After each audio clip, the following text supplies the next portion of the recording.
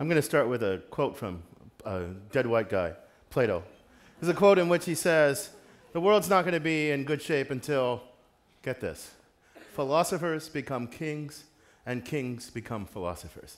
Now, you might think that as a philosopher, I, I really like that statement, right? Because I should be a king. But I'm a huge fan of democracy. Huge fan of democracy. Plato, however, was not at all a fan of democracy. It's not like he thought it was the worst form of government, but he did think it was the second worst form of government. The only thing worse is absolute tyranny where you're ruled by a, uh, a despot. Uh, he compared democracy, uh, the democratic state, to a ship at sea. It's beset by a bunch of sailors. The sailors are fighting with each other, and the sailors each have one overriding goal to somehow get the owner of the ship, that would be the people, to uh, hand over the rudder of the ship to them. Not because they know anything about na- navigation, but because they want to plunder the ship. That's what he thought of politicians in a democracy. Now you might think, well, the politicians, yeah, who likes politicians? Plato also did not think much of the people. he compared the people to a uh, beast moved by appetite and passion rather than reason. And here's what he said about the art of political persuasion in a democracy. Trying to persuade the people in a democracy is trying to wrestle and soothe this savage beast. Right? And that's not reason, that's not reason discourse, that's just manipulation and persuasion. Now, here's something I would really like to believe. I would like to believe that Plato got it absolutely wrong about democracy. I would like to believe that. But you know what? I don't. And neither did our founding fathers. So I've got a problem. Right? If I ask Plato's question, are human beings fit for, rational, for self governance, rational self governance, either individually or collectively? He'll say, no, look at the human mind. Most humans are not fit, only an elite few are, and so democracy is completely unworkable. Think that's a terrible argument? I think it's a troubling argument. So I said, I want to defend democracy. I'm here, I'm here to defend democracy, but I'm going to make it harder. Because uh, I'm going to show you modern cognitive science. So we're going from Plato to 2,500 years ago to modern cognitive science. One thing modern cognitive science does is it's probed the mind a great deal. It's probed the human mind a great deal. And one of the things that it's found is that the human mind is shot through with irrationality in its belief formation and in its de- uh, decision making. All kinds of irrationalities. Here's one kind of irrationality. It's called an, endowment effect. And it actually it affects both goods, uh, it has to do with both goods and, uh, and, and beliefs. Basically, the idea of an endowment effect is if you have something, or if you believe something, you'll place greater value on the thing that you have than a thing that you could get that's equivalent. Like I said, that applies to both uh, goods and beliefs. I could do a little thought experiment. Suppose I were to give this half of the room a, a cool thing, a plaque, a cup, whatever. I said, It's yours to keep. You can have it. And I'm going to say, This half of the room, I'm going to give you uh, this same cool thing, but only if you're willing to pay the price. You pay the right price. I ask you what price you're willing to pay. You'll write down a price. I'll ask you guys, what price are you willing to sell your cool thing to them for? You're going to set a price like twice as high as the price that they'll that they'll be willing to buy it. Why? Because you got it. It doesn't just apply to uh, goods, it also applies to beliefs. People fall in love with their beliefs. There's a phenomenon that, people, uh, that because it was uh, discovered by some Canadians, and they talk funny, it's called perseverance of discredited, discredited belief rather than perseverance of discredited beliefs. So here's, a, here's I'm going to do a little experiment. I'm going to ask you to base, uh, form a belief based on some evidence. Do risk takers or cautious people make better firefighters. I'm going to give this side the following evidence. There's a, there's a John, the risk taking firefighter. He rushes into a burning building, puts himself at great risk, but in the process saves a family from death.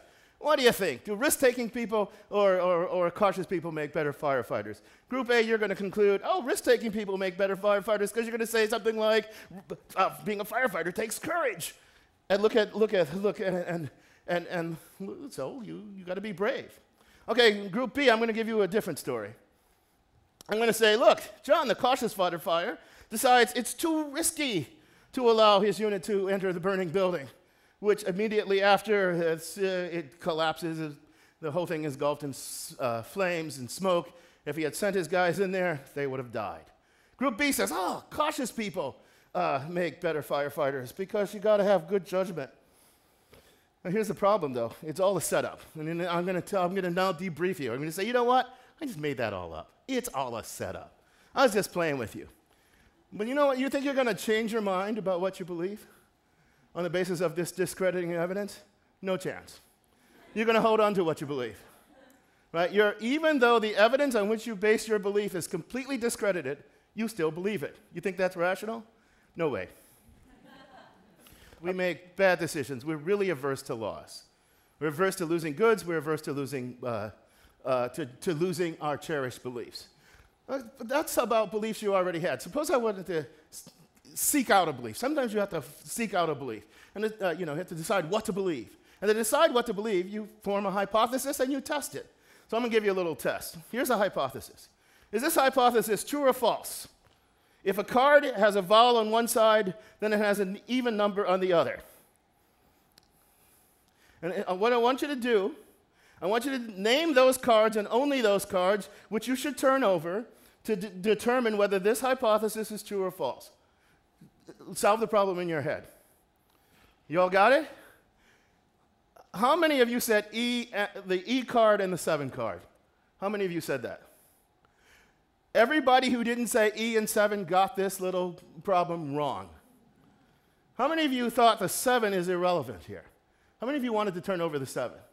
Not very many.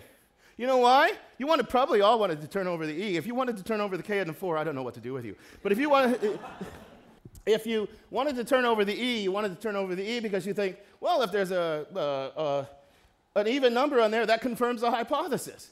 But what you didn't notice that if you turn over the seven and there's an e, uh, a vowel on that, that disconfirms the hypothesis. So what we do when we're testing hypotheses, we seek out confirmation. You say, is this a big deal? Yeah, it's a big deal. It's called confirmation bias. It's all around us. It's one of the main human cognitive failings. And people know this. People know, the media knows this, the politicians know this, the marketers know this, uh, Fox News' business model is based on confirmation bias. Nobody ever watches Fo- Fox News looking to have their uh, preconceived notions uh, refuted. But you know what? MSNBC knows it too, right? We, we've given ourselves uh, internet cocoons. Look, so we got Plato's right. The human mind is a mess. What do we do about it? Do we turn over the art of government to the philosophical elite, the technocratic elite, the scientific elite, and forget the sh- poor schmucks down there who are the rest of us? Should we do that? Some say yes. I, I say no.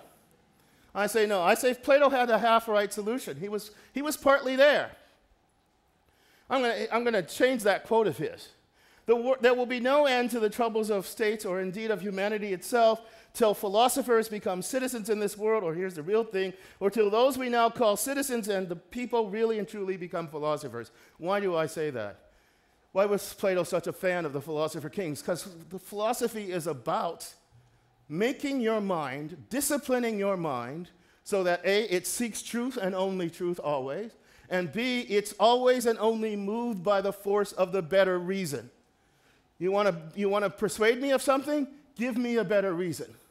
Now, this capacity to be moved by the force of the better reason, to be an inveterate truth seeker who questions everything, even their own preconceived notions, and who aren't subject to confirmation bias, this capacity, I believe, is essential to the workings of a shared life in a democratic polity. We should regard it as the birthright, the birthright of every child born in a democracy.